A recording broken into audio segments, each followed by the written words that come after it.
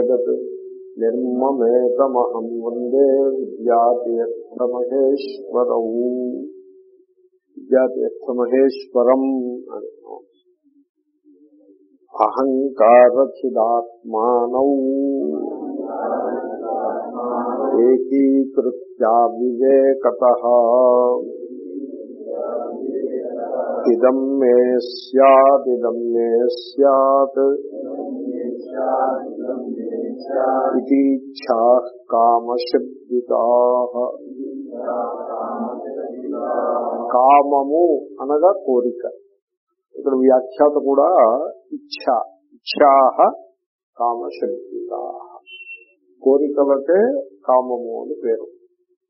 అయితే ఈ కోరికలు అసలు ఎలా పుట్టుతాయి చాలా మంది కోరికలు కోరడంలో తప్పేమిటి అని అడుగుతారు. ఆ రకంగా మొదలు పెడితే పాఠం చెప్పడం చాలా కష్టం. ఇటువంటి రెసిస్టెన్స్ నేను కొంత ఎదురు ఎదుర్కొంటూ ఉంటాను. సర్వత్రా ఇటువంటి రెసిస్టెన్స్ ముఖ్యంగా ఈ రెసిస్టెన్స్ ఎవరి దగ్గర నుంచి వస్తుందంటే విడివిడి వేదాంతం చదువుకున్న వాళ్ళ దగ్గర నుంచి వాళ్ళు వేదాంతం వాళ్ళు పూర్తిగా చదివినట్టు కాదు. ఏదో రెండేళ్ళు మూడేళ్ళు ఏదో చదువుతారు. వాళ్ళకి ఒక అభిప్రాయం ఒకటి ఏర్పడుతుంది. అది అభిప్రాయం నేను చూశాను చాలా మందిలో చూశాను ఆ అభిప్రాయం ఏమిటంటే మేము ఏదైతే వేదాంతం పేరుతో తెలుసుకోవాల్సినది ఎంతైతే ఉందో అంతా మాకు మా గురువు గారు చెప్పేశారు మేము తెలిసేసుకున్నాము. అది ఒక అభిప్రాయం. అది అంతా ఏమీ బాగులేదు కదండి అస్సలు బాగులేదు. రెండో అభిప్రాయం ఏంటంటే మా గురువు గారు తప్ప ఇంక ఈ సృష్టిలో వేదాంతం ఎవళ్ళు తెలుసుకున్న వాళ్ళు ఎవళ్ళు లేరు. ఇంకెవళ్ళని మనం వినక్కర్లేదు. ఎవళ్ళని పరిగణనలోకి తీసుకోనక్కర్లేదు. అని ఇది రెండవ ఇది ఎలా ఉంది?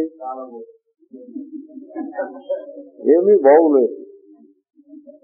అంచేతనే ఈ ఇటువంటి వేదాంతుల దగ్గర మీరు ఓ రామకృష్ణ పరమహంస మాట ఎత్తడానికి అవకాశం లేదు వివేకానంద మాట ఎత్తడానికి అవకాశం లేదు రమణ మహర్షి అనడానికి లేదు. ఇంకా నిసర్గదత్త మహారాజన్ అంటే వాళ్ళకి అసలు ఎవరో తెలియదు కూడా తెలియదు మీరు ఎవరినైనా పాశ్చాత్య దేశంలో ఉండే రూపర్ట్ అని ఒక ఆయన ఉన్నాడు లండన్లో ఉండి వేదాంతం చెప్తాడు. బ్యాంకోర్లో ఉండి వేదాంతం చెప్పి ఆయన ఎకహార్ట్ తోలే ఉన్నాడు. ఇలాగా ఉన్నారు వేదాంతం చెప్పిన వాళ్ళు. వాళ్ళని పేరు ఎత్తారంటే మీరు వాడు ఈ పేరు ఎత్తిన వాడు భ్రష్టుడు ఎందుకు కొరగానివాడు అని వాళ్ళ నిశ్చయంలో ఉంటారు. ఇటువంటి వేదాంతుల దగ్గర మీరు వేలముఖం వేసి కూర్చోవడమే మేలేమో అనిపిస్తుంది. వాళ్ళ కామన కోరికలు మంచివి కాదు విడిచిపెట్టాలి అని అంటే వాళ్ళు దానికి రెసిస్టెన్స్ ఇస్తారు. నేను చూశాను అటువంటి రెసిస్టెన్స్ సో కాబట్టి కామన గ్రంథి ముడి అని శృతి వర్ణిస్తుంటే ఆ కామనని పట్టుకుని అదేదో మంచిదన్నట్టుగా మనం వ్యాఖ్యానం చేయడం ఎలా కుదురుతుంది? గ్రంథి ఒక ముడి. శరీరానికి అనారోగ్యం ఎలాంటిదో మనస్సుకి అనారోగ్యము కామన. అయితే శరీరానికి అనారోగ్యం ఎక్కడి నుంచి వచ్చిందంటే ఏదో ఇంబ్యాలెన్స్ వల్ల వస్తుంది. మనస్సుకి అనారోగ్యం ఎలా వచ్చింది అంటే అజ్ఞానం వల్ల వచ్చేది. ఆ అజ్ఞానము ఏ రూపంగా ఉంటుంది? అంటే శంకరులు ఎప్పుడు కూడా అజ్ఞానము నిద్రలో అజ్ఞానం ఉంటుంది ఆ అజ్ఞానం వేరు. దాన్ని మూల అజ్ఞానము అన్నారు. ఆ నిద్రలో అజ్ఞానం మీకు ఏమైనా కష్టాన్ని కలిగించిందా? ఎవరికి కష్టం కలగదు. నిద్రలో అజ్ఞానము బంధించదు. హానిని కలిగించదు ఏమీ చేయదు. అది మొన్నాడు పొద్దున్న తెలివి వచ్చినప్పుడు ఈ అజ్ఞానం నుంచి పుట్టేటువంటి భ్రాంతి. దానికి స్థూలాజ్ఞానము అని అంటారు. మూలం నుంచి తూలం పుడుతుంది. స్థూలం కాదు తూలం సంస్కృత పదం. అంటే విత్తు నుంచి అంకురం పుట్టినట్టుగా మూలాజ్ఞానం నుంచి స్థూలాజ్ఞానం పుట్టింది ఈ స్థూలాజ్ఞానం ఎప్పుడు కూడా భ్రాంతి రూపంగా ఉంటుంది. అజ్ఞానము కారణము భ్రాంతి కార్యము. ఎప్పుడు కారణాన్ని గురించి చెప్పడం కుదరదు. కార్యాన్ని గురించి చెప్పడమే కుదురుతుంది. ఇంచేతనే అజ్ఞానాన్ని అవ్యక్తము అని కూడా అంటారు. ఈ జ్ఞానము ఈ ఉదయం నిద్రలేస్తూనే కలిగేటువంటి భ్రమ అది కార్యం. ఈ భ్రమ భ్రమ అంటే ఎప్పుడు కూడా భ్రమ అనే మాట మీరు వినుంటారు. వాడు భ్రమపడ్డాడు అని అంటారు. ఉన్నది ఒకటైతే వీడు తెలుసుకున్నది మరి ఒకటి. దాని పేరే భ్రమ. మా చిన్నప్పుడు పాట ఒకటి వినేవాడు ఉన్నది ఒక్కటి అంటూ ఏదో పాట వినేవాడు ఆ తర్వాత ఏమిటో నాకు గుర్తు లేదు. అనుకున్నది ఒక్కటి అది అది. అనుకున్నది వేరొక్కటి. ఆ తర్వాత? బోల్తా పడ్డావు రోయ్. బాగుందిగా చాలా బాగుంది. అదే భ్రాంతి అంటే. కవులు వాళ్ళు పూర్వం నాకు ఈ కవులు అంటే చాలా ప్రీతి. వాళ్ళు కనపడితే కౌగులించుకుందాం అన్నంత ప్రీతి. ఎందుకంటే వాళ్ళ భాష భావము ఎంత బాగుంది ఎంత బాగుంటుంది. ఇప్పుడు చూడండి ఉన్నది ఒక్కటి. అతను కొద్ది గొప్ప వేదాంతం చదివిన వాడు అయి ఉంటాడు. కవులందరూ అలా పండితులు. ఏదో కొంత సాహిత్యము శాస్త్రము ఏదో కొద్ది గొప్ప చదువుకుని కొంత శుద్ధి అయినటువంటి అంతఃకరణంతో వాళ్ళు పాటలు రాసేవారు. సరే నారాయణ రెడ్డి గారు లాంటి వాళ్ళు మహా విద్వాంసులు మిగతా వాళ్ళు కూడా. ఎవరు రాసేవారు? దాశరథి రంగాచార్య ఆత్రేయ నారాయణ రెడ్డి వీళ్ళు దిగ్గంతుల వంటి పండితులు. వాళ్ళు రాసేవారు. చూడండి ఉన్నది ఒక్కటి అనుకున్నది వేరొక్కటి బోల్తా పడ్డావు రోయ్. ఆ, పడ్డావు రోయ్. బుల్బుల్ పెట్ట ఓహో. అంటే అంటే ఒక అమ్మాయిని ఉద్దేశించి చెప్పాడు వీడు. పాట కాబట్టి అదే భ్రమ అంటే. ఈ భ్రమ దీనికి శంకరులు పెట్టుకున్న పేరు అవివేకము. తేడా అని గుర్తించలేకపోవడము. తేడా అనేప్పటికీ రెండు ఉండాలక్కడ రెండు ఉంటే ఒక ఉన్నది ఒక్కటి అనుకున్నది వేరొక్కటి. రెండు ఉండాలి. ఉన్నది త్రాడు అనుకున్నది పాము. అలాగే రెండు ఉండాలి. ఇప్పుడు దీన్ని ఈ పాయింట్ని బాగా వ్యాఖ్యానం చేసినటువంటి విద్వాంసులు ఉన్నారు. సరిగ్గా ఇది శంకరుల యొక్క అవివేకము వివేకం. వివేకం అనే ఆత్మానాత్మ వివేకము అనే మొట్టమొదటి క్వాలిఫికేషన్ కింద పెట్టారు ఆయన. నాలుగు సాధన చతుష్టయంలో మొట్టమొదటిది ఆత్మానాత్మ వివేకమే. అసలు ఆరంభం అక్కడే ఆరంభమవుతుంది నేను గమనించింది మీకు మనం చేస్తున్నాను.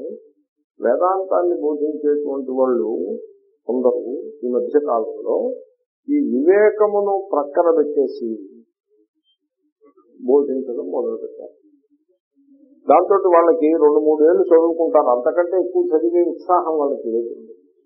వాళ్ళు వెంటనే గురువులు అయిపోవాలనే తొందరపాటుతో ఉంటారు వెంటనే గురువులు అయిపోతే శిష్యుల్ని పోగేసేసుకుని మనం వేదాంత గురువు ఆచార్య అని పేరు కూడా పెట్టేసుకుంటారు ముందు ఆచార్య. ఈ హడావిలో ఉండడంతో చదువు చాలా వానాకాలం చదువు అన్నట్టుగా సరిగ్గా ఉండదు. అంచేత ఇంకా మొట్టమొదటినే సర్వం కల్విదం బ్రహ్మ తర్వాత అహం బ్రహ్మాస్మి అలా పోతుంది. ముందు అసలు ఆత్మానాత్మ వివేకము చేయకుండానే బ్రహ్మ దగ్గరికి వెళ్ళిపోతాం. బ్రహ్మ దగ్గరికి వెళ్ళిపోయి అంతా బ్రహ్మే అంటారు. అంటే ఉప్మా తయారు చేస్తున్నాడు బ్రహ్మచారి. ఏం చేస్తున్నావా అంటే నేను బ్రహ్మను వండుతున్నాను. అలా. అంతా బ్రహ్మే కదా. ఆత్మానాత్మ వివేకము లేకపోవడం చేత అంతా బ్రహ్మ అవడం చేత దేహము కూడా బ్రహ్మే. దేహం సత్యము అలా. మనస్సు సత్యము అది బ్రహ్మ. కామనలు కూడా ఆ బ్రహ్మయే. ఈశ్వరుడే. కామనలు కూడా ఈశ్వరుడే. అని ఎప్పుడైతే మీరు కామనలు కూడా ఈశ్వరుడని మీరు దానికి అలాగే పెట్టేశారో ఇప్పుడు కామనల గురించి ఎవరైనా వ్యతిరేకంగా మాట్లాడితే వాడు ఈశ్వరుని అటాక్ చేసిన వాడు అవుతాడు. సరే ఇది దూరం. నేను చూసిన దాంట్లో ఇటువంటి దోషం ఒకటి ఈ వేదాంతంలో కొంత కనపడుతుంది. తర్వాత నేను ఇంకొక మంచి వేదాంతం ఒక దాన్ని తీశాను ఒక ఆయన్ని తీశాను ఆయన పేరు మూజీ. మూజీ అంటారు ఆయన. మీరు విని ఉంటారు. ఆయన జమైకా వాడు. జమైకా అనే దేశంలో పుట్టి పెరిగిన వాడు జమైకా నేను ఒకసారి వెళ్ళాను జమైకా. అమెరికాకి దగ్గరలో ఉంటుంది క్యారీబియన్ ఐలాండ్స్లో ఈ ప్రపంచంలో పరుగు పందెంలో నెగ్గిన వాళ్ళందరూ జమైకా నుంచే వస్తారు. చిన్న ఐలాండ్ కంట్రీ. అక్కడ ఇండియన్స్ చాలా మంది ఉన్నారు జమైకాలో. ఇండియన్ పాస్పోర్ట్ హోల్డర్కి వీసా అక్కర్లేదు. అంత దగ్గర సంబంధం ఉంది జమైకాతో. ఆ జమైకాలో పుట్టాడు ఆయన. ఈ మూజీ గారు. ఆయన పేరు Jamaican name black. Jamaica is black people. ఆ పేరు మూజీ. ఆయన పాపాజీ అని లక్నోలో ఒక ఆయన ఉండేవాడు. రమణ మహర్షి గారి శిష్యుడు పాపాజీ. ఈ పాపాజీ దగ్గర శిష్యరికం చేసి ఆయన అద్వైతం నేర్చుకుని ఇప్పుడు ఆయన పోర్చుగల్లో అద్వైతాన్ని బోధిస్తాడు ఆయన. ఆయన పెట్టుకున్న పేరు ఏమిటంటే అద్వైత జెన్ మాస్టర్ అని ఆయన ఆయన యొక్క వర్ణన. అలా ఉంటుంది.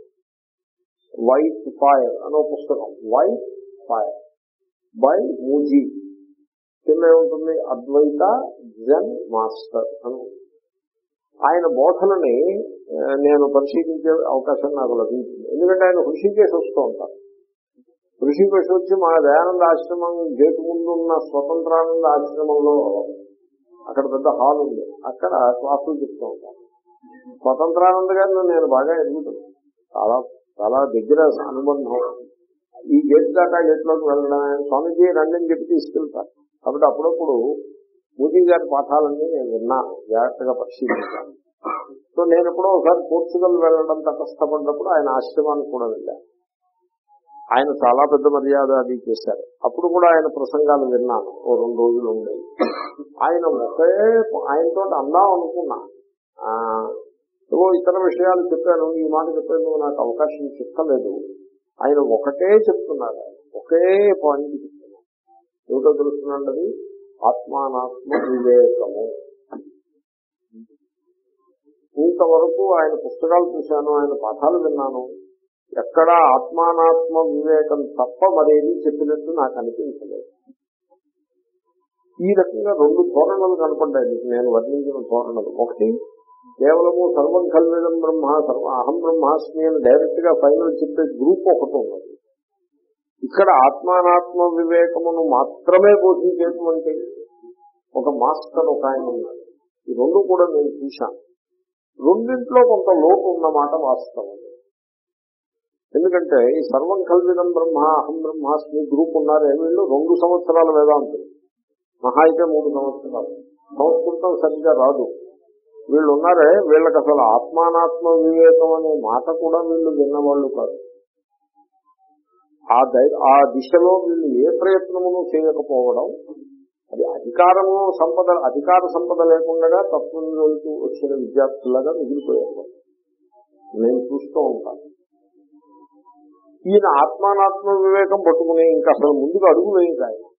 అక్కడే ఆగిపోయారు ఈ రెండింటిని పోల్చి చూసినట్లయితే ఎంతో కొంత లోటుపాట్లు రెండింటిలో ఉన్నప్పటికీ శాస్త్ర దృష్ట్యా ఈ రెండింటిలో ఏది శ్రేష్టము అంటే మోదీ గారే శ్రేష్టం. ఎందుకంటే సాధనని ఆయన బాగా రాపిడి చేసి పెడుతున్నాడు. సాధనని రాపిడి చేసేసి వాడిని వదిలిపెట్టేస్తే వాడు ఎప్పుడైనా ఆ సిద్ధ వస్తువుని కనుక్కుంటాడు. వాడంతటా వాడే కనుక్కునే అవకాశం ఉన్నది సరే వీళ్ళు ఈ విడివిడి వేదాంతులు ఉన్నారే వీళ్ళు సాధనకి తిలోదకాలు ఇచ్చి సిద్ధ వస్తువు దగ్గరికి వెళ్ళి శిలక పలుకులు పలుకుతో మా అంతటి విద్వాంసులు లేరనేటువంటి ఒక పెద్ద అహంకారంతో వీళ్ళు ఉండిపోయినారు నేను లోకంలో ఉండే వేదాంత ధోరణులపై ఒక వ్యాఖ్యానం చేశాను. కాబట్టి ఇక్కడ విద్యారణ్య స్వామి ఏమవుతున్నారంటే ఆ వివేకాన్ని నువ్వు అర్థం చేసుకో. ఆత్మ అనాత్మల యొక్క వివేకము అత్యావశ్యకము. ఆ వివేకము లేకుండుట చేతనే కామనలు పుడుతున్నాయి అని చెప్తున్నారు మీకు అర్థమైందా? నేను దాన్ని బిల్డప్ ఎలా తీసుకొచ్చాను? I built a case for ఆత్మానాత్మ వివేక. ఏ రెండింటి మధ్యన వివేకము లేకపోవటం అంటే ఒకటి ఆత్మ ఒకటి అనాత్మ. రెండు మీ లోపలే ఉంటాయి. రెండు మీ లోపలే ఉంటాయి. ఇప్పుడు చూడండి మీకు ఆత్మానాత్మ వివేకం నేను చూపిస్తాను. ఇప్పుడు మీరు ఈ చేతిని ఇలా అనండి ఒకసారి ఎడమ చేతిని కుడి చేతితో ఇలా అన్నారనుకోండి. ఏమండి? కుర్చీని ఇలా అన్నారనుకోండి. కుర్చీ కాకపోతే చాప. ఇలా చేతి కుడి చేతితో చాపను అన్నారనుకోండి. రెండింటికి తేడా ఉందా లేదా? ఉంది. ఏమిటి తేడా? రెండింటికి తేడా ఏమిటి చెప్పమంటారా? కుడి చేతితో ఎడమ చేతిని స్పృశించినప్పుడు ఎడమ చేతికి కూడా స్పర్శ కలదు. కానీ కుడి చేతితో కుర్చీని పట్టుకున్నప్పుడు కుర్చీకి స్పర్శ లేదు. కుడి చేతికి స్పర్శ సమానమే. రెండు దృష్టాంతాలలోనూ కుర్చీకి కుడి చేతికి స్పర్శ సమానం. ఇంకా తేడా ఎక్కడ వచ్చిందంటే ఎడమ చేతికి స్పర్శ ఉన్నది కుర్చీ కాడకి కుర్చీ దేనికి ఆ కట్టకు స్పర్శ లేదు.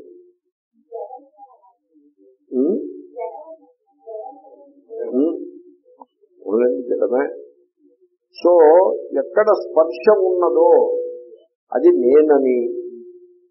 ఎక్కడ స్పర్శ లేదో అది నేను కాదని మనం నిర్ణయం చేసి కూర్చుంటున్నాం. ఏమండి? కుర్చీ ఏ విధంగా జడ జడమో చెయ్యి కూడా జడమే. ఇవి కూడా మట్టి. కుర్చీ మట్టి చేయి మట్టి. ఈ కుర్చీని ఈ కాడని వీలు పెట్టి ఈ కాడని తీసుకెళ్ళి రోడ్డు పక్కన బారేశారనుకోండి ఒక పది ఏళ్ళ తర్వాత చూస్తే అక్కడ ఏముంటుంది? మట్టి ఉంటుంది. ఈ చెయ్యని మీరు పోయినప్పుడు కప్పెట్టేసి రెండేళ్ళ తర్వాత చూస్తే అక్కడ ఏముంటుంది? మట్టి ఉంటుంది. ఇది మట్టే అది మట్టే. కానీ ఈ మట్టిలో స్పర్శ జ్ఞానం ఉన్నది. అంచేతను నేను అనుకుంటున్నాడు ఆ మట్టిలో స్పర్శ జ్ఞానం లేదు. అంచేతను నేను అనుకోవటం లేదు. అంటే నీ నేను ఎక్కడ ఈ నేను అనేది కేవలము స్పర్శ జ్ఞానానికి పరిమితమై ఉన్నది. ఏమండి? స్పర్శ అన్నప్పుడు కేవలము స్పర్శే కాదు. చూపు రసము గంధము తర్వాత వినికిడి శ్రోత్రము ఇవి కూడా వస్తాయి. అంటే ఏది ఇంద్రియ జ్ఞానమునకు లోబడి ఉన్నదో అది నేను. ఇంద్రియ జ్ఞానమునకు ఆవల ఉన్నది నేను కాదు అనే విధంగా వీడు పెట్టు కూర్చున్నాడు ఏమండి? ఇంద్రియ జ్ఞానము అంటే మనస్సును కూడా మీరు కలుపుకోవాలి దాంట్లో. మనస్సు కూడా ఇంద్రియమే కనుక. కాబట్టి ఏదైతే మనస్సుకు తెలుస్తూ ఉంటుందో అది నేను అనే నిశ్చయంలో వీడు ఉన్నాడు. మనిషి అలాగా ఉన్నాడు. మనస్సుకి ఇంద్రియాలకి వాటి యొక్క పరిధి వాటి జ్ఞానం ఏది కలదో ఆ జ్ఞానం లోపల ఉండేది నేను బయట ఉండేది నేను కాదు అనే దృష్టిలో మనసు ఉన్నాడు ఆ నేనుకి అహంకారము అని పేరు. కేవలము ఇంద్రియములు మనస్సు వాటి జ్ఞానము అంత మాత్రమునకు పరిమితమై ఉండే నేను దాని పేరు అహంకారము. ఇప్పుడు ప్రశ్న ఎక్కడ ఉదయిస్తుందంటే మీ లోపల మీరు చూసుకుని ఇంద్రియ జ్ఞానము మనస్సు ఉన్నాయి. వాటి కారణంగా అహంకారము నిర్మాణమై ఉన్నది. అహంకారం అంటే నేననే భావన. Me me. ఓకే? ఇంతేనా? ఇంతకంటే కొంచెం పైన ఏమైనా ఉందా? ఇంతకంటే అధికమైనది మీ లోపల ఏమైనా ఉందా? అది చూసుకోవాలి. ఏమండి? ఇప్పుడు అంతఃకరణము శబ్దజ్ఞానము ఇవన్నీ కూడా అంతఃకరణంలో భాగమే. అంతఃకరణము అంటే మైండ్. మైండ్ అంటే మెమొరీ. మైండ్కి మరో పేరు మెమొరీ. దాన్ని స్మరణము అంటారు లేక స్మృతి. కాబట్టి ఏదైతే స్మృతి నుండి పుట్టినదో అది అహంకారము. ఏమండి ఇప్పుడు మీరు ఒక మనిషి మీరు ఒక వ్యక్తి నేను ఒక వ్యక్తిని. కారణం ఏమిటో తెలుసిన? స్మృతికి లోబడి మనం ఉన్నాం గనక. నేను స్మృతికి లోబడి ఉన్నాను కనుక నేను ఒక వ్యక్తి. మీరు కూడా స్మృతికి లోబడి ఉన్నారు కనుక ఒక వ్యక్తి. మనుష్య దేహం అనే మూసలో స్మృతిని పోసినప్పుడు స్మృతి అనే ద్రవ్యాన్ని పోసినప్పుడు ద్రవాన్ని పోసినప్పుడు ఆ మనుష్య దేహమునకు పరిమితమై ఉండే స్మృతికే అహంకారము అని పేరు. ఏమండి? ఈ మూసలో ఉన్న స్మృతి నేను ఈ మూస మరో మూసలో ఉన్న స్మృతి మీరు. ఇలాగ వ్యక్తుల కింద మనం విడిపోయి ఉన్నాము.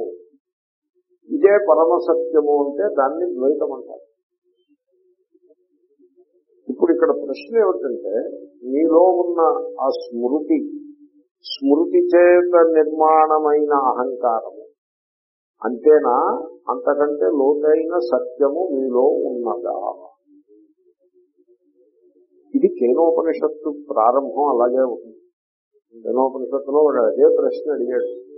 కేనేషితం పతతి ప్రేషితం మన. మనస్సు పనిచేస్తున్న మాట వాస్తవం. మనస్సు పనిచేసి ఒక అహంకారాన్ని సృష్టించింది. అహంకారం కంటే భిన్నంగా ఇతర అహంకారములను సృష్టిస్తోంది.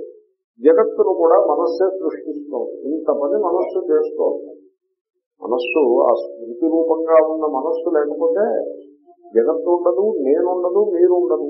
ఒక వ్యక్తిగా నేను ఉండను ఒక వ్యక్తిగా మీరు ఉండదు జగత్తు కూడా ఉండదు. ఇవన్నీ మనకు అనుభవంలోకి వస్తున్నాయంటే అర్థం దేని వల్ల వస్తున్నాయి? మనస్సు వల్ల. స్మృతి రూపమైన మనస్సు వల్ల వస్తున్నాయి. ఆ మనస్సు స్వతంత్రము. ఇంకా అంతకు మించి వేరే ఏది లేదు. వాళ్ళనే క్షణిక విజ్ఞానవాదులు అని అంటారు. బౌద్ధులలో ఒక తెగ. ఆ మనస్సు కూడా కల్పితమే. వాళ్ళని శూన్యవాదులు అంటారు. వాళ్ళు కూడా బౌద్ధులలో మరి ఒక తెగ. అక్కడ ఓ మహర్షి ప్రశ్న ఏమైనా వేసేటంటే మనస్సుని నియంత్రించేది ఒకటి ఉన్నది. అది ఏది?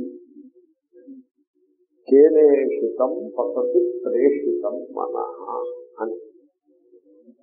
అంటే ఆ ప్రశ్న ఎలా వినబడుతుందంటే మనస్సు వెనకాల ఉండి మనస్సును నియంత్రించేది ఏది అన్నట్టుగా ఉంది ప్రశ్న. కానీ ఆ ప్రశ్నని కొంచెం మీరు కొంచెం దాన్ని ఇటువంటి పిలవా పొలవ పెడితే మనస్సు వెనకాల ఉండే మనస్సును నియంత్రించేది ఒకటి ఉందా లేదా? ఉంటే అది ఏది?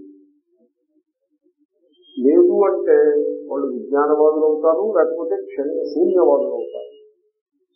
ఉంది అంటే వాడు వేదాంతం అవుతాడు.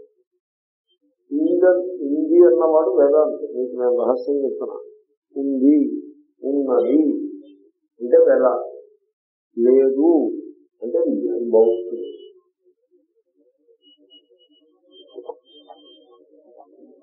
బౌద్ధులు అలాగా లేదు. అని వాళ్ళు నిశ్చయం చేసి కూర్చున్నారు. చాలా తప్పదు అలా నిశ్చయం చేసుకోకూడదు. బుద్ధుడు అలా చెప్పలేదు. సందర్భం వచ్చింది కాబట్టి చెప్తున్నా బుద్ధుడు అలా చెప్పలేదు. బుద్ధుడు ఎలా చెప్పాడంటే ఒక ఆయన నిత్యము కర్మానుష్ఠానం చేసి ఈశ్వరుణ్ణి ఆరాధిస్తూ ఉండేవాడు. బుద్ధుడు యొక్క సత్సంగానికి వెళ్ళి బుద్ధుడిని దేవుడు ఉన్నాడా అని అయితే బుద్ధుడు నో అని పొద్దున్న సత్సంగం సాయంకాలం మళ్ళీ సత్సంగము విద్యార్థులందరూ ఒక సమావేశమైన చోట చార్వాకుడు అంటే దేవుడు లేడనే నిశ్చయంలో ఉన్న చార్వాకుడు వచ్చి దేవుడు ఉన్నాడా? అని అడిగాడు. ఎస్ అని చెప్పాడు. ఈ విద్యార్థులందరూ స్టన్ అయిపోయారు పొద్దున్న చెప్పిన దానికి సాయంకాలం చెప్పిన దానికి తేడా ఏమిటి? అప్పుడు వాళ్ళ తెల్లవారుసామున ఆయన వాకింగ్కి వెళ్తుంటే బుద్ధుడు ఆయన నిద్రలేసి వాకింగ్ వెళ్ళేవాడు. ఆయన వెనకాల వెళ్ళి చేతులు పట్టుకుని ఆయన వెనకాల వెళ్ళి ఇలాగే చెప్పారు మీరు మీ అభిప్రాయం ఏంటి అడిగారు. అడిగితే ఆయన చెప్పారు దేవుడు ఉన్నాడని చెప్పిన వాడికి దేవుడు తెలియదు. దేవుడు లేడని చెప్పిన వాడికి దేవుడు తెలియదు. ఇద్దరూ ఒకే పడవలో ఉన్నారు. అని ముందు ఒక మాట చెప్పారు. అంటే ఇద్దరూ ఒకే తరగతికి చెందిన వారు. ఒకే పడవలో ఉన్నారంటే వాడు పడవలో కూర్చుని వెళ్తున్నారు అనుకోకండి. ఒకే తరగతికి. బోటానికి సేమ్ బోట్. ఇంగ్లీష్లో అలా అంటారు. తెలుగులో అలా అన్నారు నేను అన్నాను they are in the same boat మనం ఏమనుకుంటాం? వీళ్ళు పరస్పర విరుద్ధమైన వ్యక్తులు వేరు వేరు బోట్స్లో వెళ్తున్నారు అనుకుంటాం బుద్ధుడు అన్నాడు ఇద్దరు ఒకే బోట్లో వెళ్తున్నారు. ఎందుకని? వాళ్ళకి తెలియని తత్వం గురించి ఒక విశ్వాసం పెట్టుకుని ఉన్నారు కనుక. They believe something about which they don't know దేని గురించి వాళ్ళకి తెలియదో అది ఉన్నది అని ఒకడు అది లేదు అని మరొకడు ఇది రెండు బిలీఫే రెండు బిలీఫే దీంట్లో చార్వాకుడు బిలీఫ్ లేనివాడని మీరు అనుకోద్దు. వాడు బిలీఫే కమ్యూనిస్టు లేదంటాడు. వాడిది బిలీఫే వీడు పూజ చేసేవాడు ఉన్నాడంటాడు. వీడిది బిలీఫే బిలీఫ్ దేని గురించి? దేని గురించి అయితే వాళ్ళకి ఏది తెలియదో దాని గురించి బిలీఫ్ బుద్ధుడు ఏమన్నాడంటే వీళ్ళిద్దరూ కూడా బిలీఫ్ని పక్కన పెట్టి సత్యాన్ని అన్వేషించడం కోసం నేను అలా చెప్పాను అన్నా నువ్వు ఉన్నాడని బిలీవ్ చేయొద్దు వాడు లేడని బిలీవ్ చేయొద్దు మీరిద్దరూ కూడా జిజ్ఞాస. తద్విజిజ్ఞాసస్వ. దాన్ని మీరు అన్వేషించి తెలుసుకోండి. విచారం చేసి తెలుసుకోండి అని చెప్పడం కోసం విచారం చేయండి అని బోధించడం కోసం ఆయన అలా చెప్తాడు కాబట్టి మనస్సు వెనుక ఒక తత్వం ఏదైనా ఉందా? దేనికి లోబడి మనస్సు పనిచేస్తుందో అటువంటి తత్వము ఉన్నదా? ఉన్నది. అది ఉంటే ఇప్పుడు ఇక్కడ మేము దాన్ని అనుభవంలోకి తెచ్చుకోగలుగుతామా? ఎస్ అది ఏమిటో తెలుసిన? మీరేం చేయాలంటే స్మృతి మెమొరీ దాన్ని ప్రక్కన పెట్టండి. దాన్ని జార విడవండి. ఎలాగైనా అడగద్దు. ఎలాగైనా అడిగితే చెప్పేది కదా. ఏం ప్రాసెస్ ఏమీ కాదు. మైండ్ని పక్కన పెట్టండి. ఎలర్ట్గా గా ఉండండి. స్మృతిని పక్కన పెట్టండి. మీరు అలర్ట్గా ఉండండి. ఎలర్ట్ అండ్ అవే జాగ్రత్తగా సావధానంగా ఉండండి. స్మృతిని మాత్రం దరిదాపులకి రానివ్వకండి. అప్పుడు ఇంకో సంగతి అర్థం ఈ నిరంతరము ఆలోచనల రూపంగా ప్రవహిస్తూ ఉండే ఈ స్మృతి రూపమైన మనస్సు ఏది గలదో దాని వెనుక ఒక వెలుగు ఉన్నది అని మీకు అర్థం. నిజానికి ఆ వెలుగులోనే ఈ మనస్సు పనిచేస్తోంది కూడా. ఆ వెలుగుకే చిత్ అని పేరు. దాన్ని చిత్ అంటారు. దాన్నే ఆత్మ అంటారు. స్మృతి రూపమైన మనస్సు అనాత్మ. దానికి వెలుగును ప్రకాశిస్తూ దాని వెనుక ఉండి వెలిగిపోతున్న ఆ జ్యోతి చైతన్య జ్యోతి అది ఆత్మ. ఈ రెండింటికి వివేకము తెలియలేదు వీడికి. అర్థమైందండి? తెలియలేక ఈ మనస్సే నేనని భ్రమపడి అంటే స్మృతి నేను అని భ్రమపడ్డాడు. స్మృతి నేను. స్మృతి నేనంటే అర్థం చూస్తున్నాండి నేను బ్రాహ్మణుడను. అది స్మృతిగా నేను తెలంగాణ వాడిని ఇండియన్నుని హిందువుని క్రిస్టియన్నుని మగవాడిని ఆడ ఆడదానిని నేను భర్తను భార్యను పుత్రుడను తండ్రిని అసలు మీ వ్యక్తిత్వం అంతా కూడా స్మృతియే. స్మృతిని చెరిపేస్తే ఆ వ్యక్తి ఉండడు. ఆ పర్సన్ ఉండడు. సరిగ్గా ఈ పాయింట్ మీద రచయితలు కథలు రాశారు సినిమా డైరెక్టర్లు సినిమాలు తీశారు. సరిగ్గా ఇదే పాయింట్ వాడు వాడు భార్య పిల్లలతో ఇద్దరు పిల్లలు భార్యతో కలిసి కారులో వెళ్తూ ఉంటాడు పిక్నిక్. యాక్సిడెంట్ అవుతుంది. అయిన తర్వాత హాస్పిటల్ చూపిస్తాడు కారు రోడ్లో బంధం చూపిస్తాడు హాస్పిటల్ చూపిస్తాడు. పిల్లలకి ఏమవదు భార్యకి ఏమవదు వీడికి మాత్రం తలకి ఒక రిబ్బన్ కట్టుకుంటుంది. ఆ రిబ్బన్ మీద ఎర్రటి తుక్క ఒకటి ఉంటుంది. అది రక్తం అనమాట వాడు మరిచిపోయినాడు అంటారు అక్కడి నుంచి సినిమా డెవలప్ అవుతుంది. గమనించారా ఇంకా వాడు మర్చిపోతే ఈ అమ్మాయికి వాడు భర్త కాడు ఈ పిల్లలకు వాడు తండ్రి కాడు ఆ ఉద్యోగానికి వాడు ఉద్యోగి కాడు ఆ తల్లిదండ్రులకి కొడుకు కాడు ఆ మతం వాడిని కాదు ఆ ప్రాంతం ఏది వాడు కాడు. అంటే మీరు నేను ఫలానా వ్యక్తినని మీరు ఏదైతే అనుకుంటున్నారో అదంతా కూడా స్మృతి చేత నిర్మాణం చేయబడి ఉన్నది. ఆ స్మృతి చేత తయారు చేయబడిన వ్యక్తికి అహంకారము అంటూ స్మృతికి వెలుగొనిస్తూ స్మృతి వెనుక ఉండి ప్రకాశిస్తూ ఉండే చైతన్య జ్యోతి చెట్టు అది ఆత్మ. ఇది ఆత్మ ఇది అనాత్మ. ఈ తేడా వీడికి తెలియదు. తేడా తెలియకపోతే ఏమవుతాడో తెలుసిన? తాను రాజకుమారుడనని తెలియని వాడు బిచ్చగాడుగా ఉంటాడు. అది రూల్ అది. తాను రాజకుమారులను అని ఎప్పుడైతే వాడికి తెలియలేదో వాడు ఎలా ఉంటాడు? బిచ్చగాడుగా అలాగే తాను ఆ చైతన్య జ్యోతి అనే సత్యాన్ని తెలుసుకోలేని వాడు ఈ తక్కువ స్థాయికి చెందిన స్మృతిచే నిర్మాణము చేయబడిన అహంకారి అయి ఉంటాడు. అంటే ఏమిటి? ఆ స్మృతి నేనే.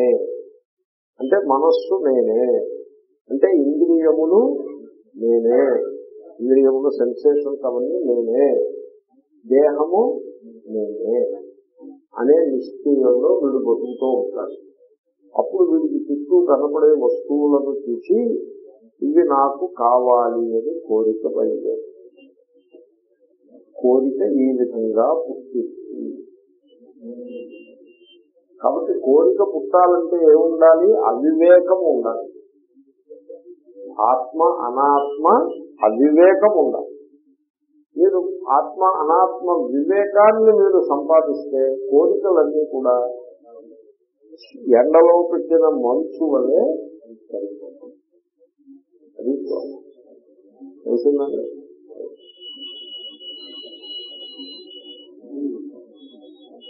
తప్పని తప్పని తెలుసుకోవాలి అంతేగాని ఏదో కథ తెలుసుకుంటే కథ తెలుసుకుంటే ఒక ఉపయోగం? కథలు ఏవేవో ఉంటాయి. చాలా రకాల కథలు ఉంటాయి. నాకెవరో ఉత్తరం రాశారు. దేవుడు భూలోకానికి వచ్చి మళ్ళీ అందరి దగ్గర సెలవు తీసుకుని వైకుంఠానికి వెళ్ళిపోయినట్టుగా కథ ఉంది కదా.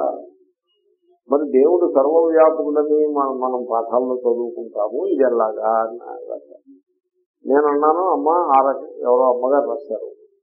అమ్మ ఆ రకంగా మీరు ప్రశ్నలు అడగడం ప్రారంభిస్తే మీరు పన్నెండో స్కంధంలో ప్రశ్న అడిగారు. మొదటి స్కంధం మాట ఏమిటి? రెండో ఒకటో స్కంధం మొదలుకొని పన్నెండో స్కంధం దాకా. స్కంధానికి పది ప్రశ్నలు చొప్పున నూట ఇరవై ప్రశ్నలు మీరు అడగాలి.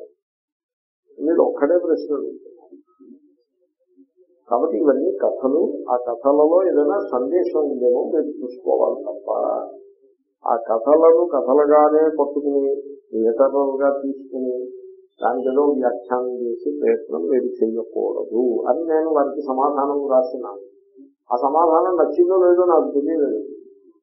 తర్వాత నాకు ఏమనిపించిందంటే బహుశా నచ్చలేదేమో అని నాకు అనిపించింది తర్వాత ఏమనుకున్నానంటే అంత ప్రిసైజ్గా రాయకుండా ఉండడం రాయకుండా ఉండాలేమో అని అనుకున్నాను. తర్వాత మళ్ళీ ఏమనిపించింది? ఇంతంత పొడుగు ఎస్టేలు వ్యాసాలు రాయడానికి నాకు మాత్రం ఎక్కడ టైము? ఏదో సింపుల్గా ప్రిసైజ్గా రాశాను దానికి సంతోషపడాలని నేను. సో ఈ రకంగా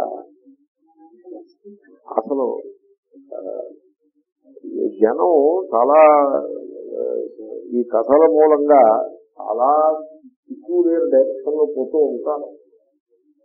సో కాబట్టి తత్వాన్ని తెలుసుకోవాల్సి ఉంటుంది. ఇప్పుడు కహాని అంటే? కహాని అంటే ఆయన దాన్ని సంస్కృతంలో శ్లేష చేశారు. ఆయన విద్వాంసులు సంస్కృత విద్వాంసులు. కహాని అంటే కా హాని విసర్గ పెట్టండి. కా హాని దీంట్లో హాని ఏమున్నది? కాబట్టి కహాని మంచిది. పదచ్ఛేదం అహంకారచిరాత్మానౌ ఏకీకృత్య అవివేకత ఇదం మే సత్ ఇదం మే సత్ ఇది ఇచ్చా కామశబ్దితా అవివేకత ఆత్మ అనాత్మ వివేకము లేనందువలన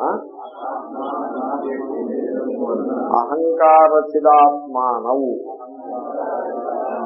అహంకారమును చైతన్య ఆత్మను ఏకీకృత్య ముద్దగా కలిపివేసి. అంటే అర్థం ఏంటో తెలుస్తుందండి మట్టిని పంచదారను కలిపివేసి. మే నాకు ఇదం ఇది సత్ కావాలి. మే నాకు ఇదం ఇది సత్ కావాలి.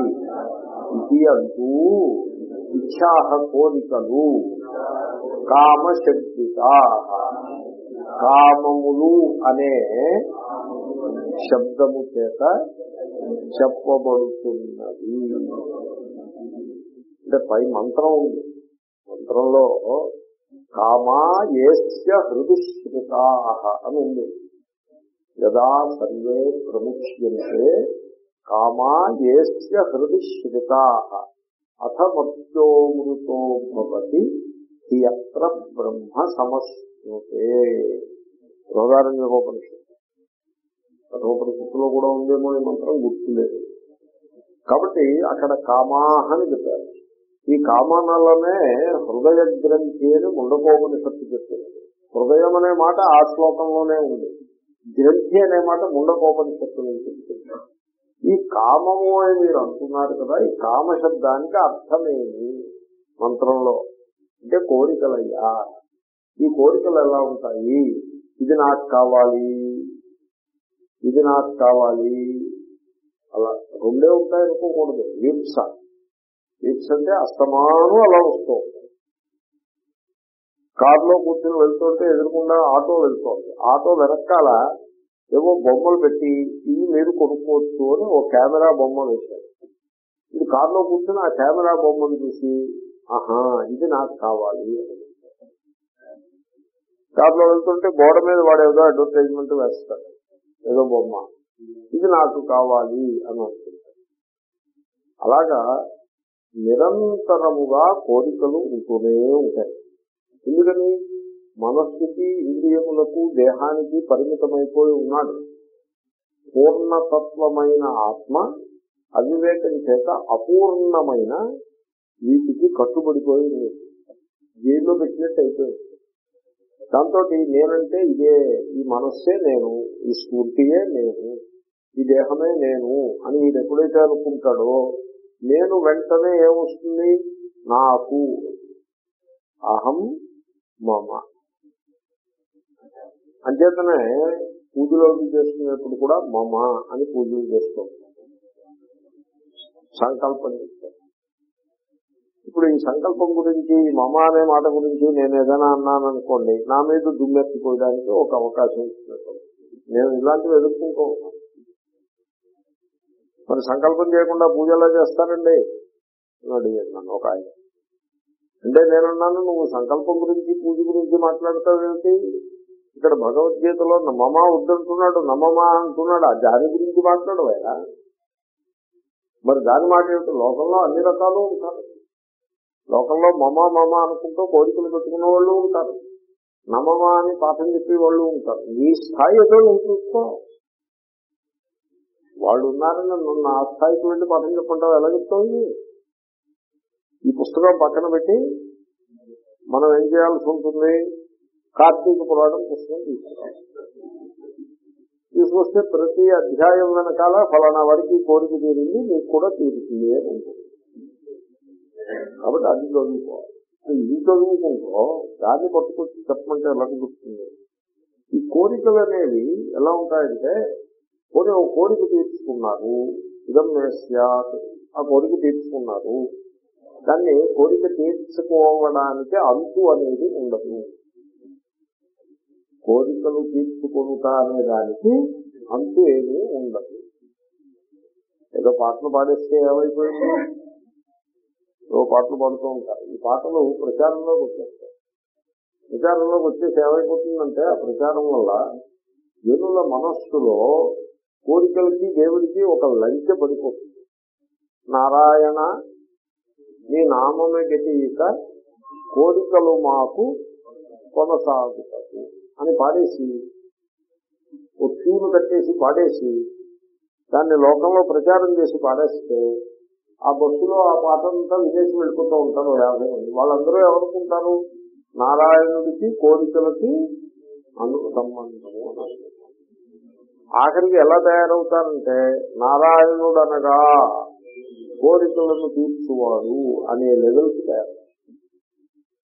అలా తయారు. ఆ పాటలు ఈ పాట అంటే దాంట్లో కఠినమైన పదాలు ఏమీ లేవు అన్నమయ్య పాట ఒక కఠినమైన ఆయన సరిగ్గా పలకలేదు దాన్ని. ఆ తర్వాత నేను దాని మీద నేను ఏదో కొంత రీసెర్చ్ చేసినంత పని చేసి దాన్ని బయటికి లాగే ప్రయత్నంలో ఉన్నాను. ఆ పాట ఏమిటంటే వచ్చను మొన్న చెప్పాను ఈ మాట. వచ్చను అలిమేలు మంగ. ఈ పచ్చల కడియాల ఆ తర్వాత ఆయన సరిగ్గా పలకలేదు.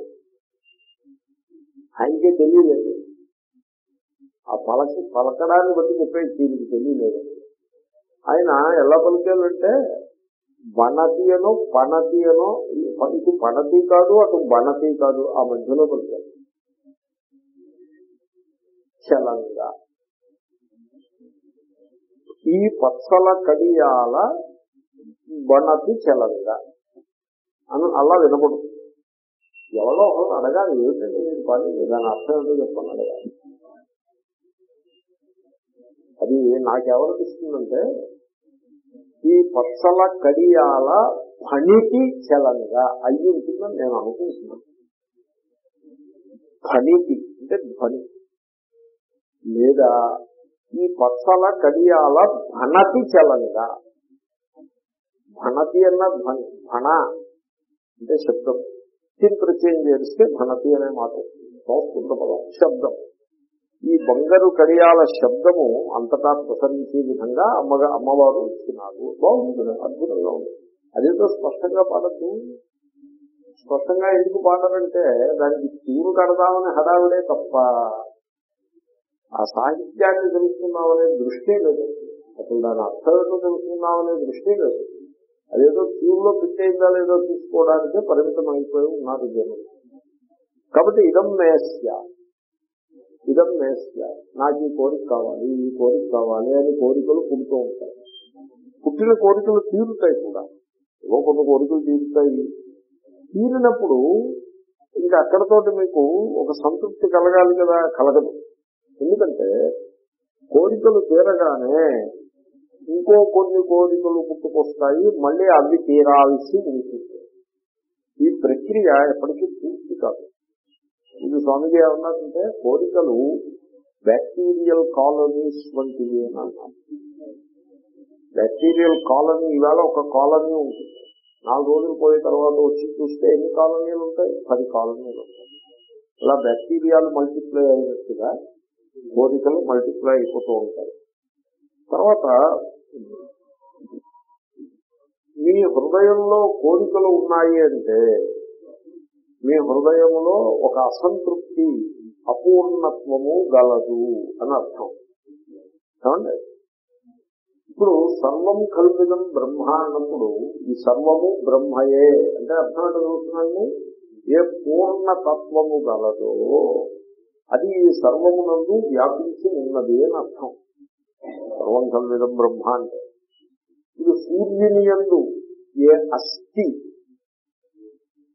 గలదో ఈ గడ్డిపోచ యందు కూడా అదే అస్థి కలదు. అది సర్వం కలిగిన బ్రహ్మ. అంటే అంటే గడ్డిపోచను చూసినా ఎండుటాకును చూసినా నీటి పడియను చూసినా మేఘపు తునకను చూసినా ఒక పక్షిని చూసినా పశువును చూసినా మనిషిని చూసినా మీకు ఆ బ్రహ్మ అనుభవానికి వస్తుందా? రావాలన్నా అంటే నామరూపముల యొక్క పరిధిని దాటి దాని నుండే పూర్ణమైన పరమాత్మను మీరు చూడగలగాలి. అలా చూడగలగాలంటే మీ హృదయము నిండుగా ఉండాలి. మీ హృదయంలో మీరు ఇన్ని కోరికలు పెట్టేసుకుని ఆ హృదయము డొల్ల కింద ఉంటే అపూర్ణముగా ఉంటే అది కోరికలనే ఛిద్రములతో ఛిద్రం అంటే చిల్లు. కోరికలనే చిల్లులతో నిండి మీ హృదయం ఉన్నంత కాలము మీ చుట్టూ వ్యాపించి ఉన్న ఆ పూర్ణ పరమాత్మతత్వము మీకు అనుభవమునకు రాదు. ఎప్పుడైతే పరమాత్మతత్వము అనుభవానికి రాదో అప్పుడు మీకు ఒక విగ్రహము ఒక టెంపులు అవసరమవుతాయి. మీరు గమనిస్తున్నారా ఈ మాట?